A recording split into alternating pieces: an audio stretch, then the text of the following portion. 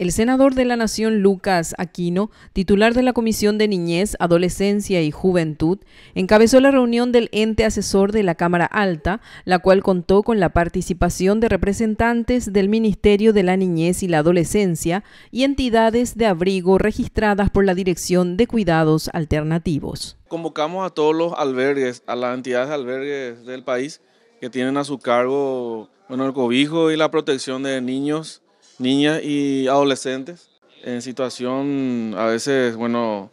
penosa, ¿verdad? Sin sus familias y una ley que obliga a pasar de la modalidad institucional de albergue a residencia familiar. Entonces hoy decidimos postergar por 15 días a pedido de todos los presentes para tener un poquito más claro el presente proyecto de ley y que en la próxima busquemos una, una solución, un consenso entre todas las autoridades y los albergues.